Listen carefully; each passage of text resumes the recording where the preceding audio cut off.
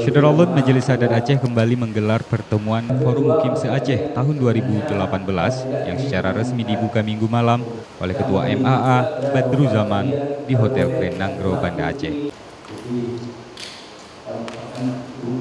Diikuti 34 imam mukim perwakilan Forum Mukim Aceh dan Forum Mukim Kabupaten Kota, pertemuan ini akan berlangsung hingga dua hari ke depan. Kesempatan ini akan digunakan untuk memetakan kembali strategi maupun peluang serta tantangan dalam pemberdayaan mukim di Aceh. Pada akhir kegiatan, pertemuan juga akan mengupayakan rekomendasi untuk kemudian disampaikan ke pemerintah baik provinsi maupun kabupaten kota.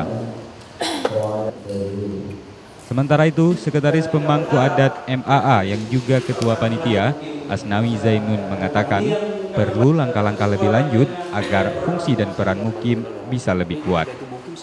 Ke depan agar keberadaan mukim ini bisa berfungsi sebagaimana mestinya kan. Sebab sayang juga di Aceh kalau saya tidak salah ingat itu ada sekitar hampir 700 buah mukim ya seluruh di Aceh kan.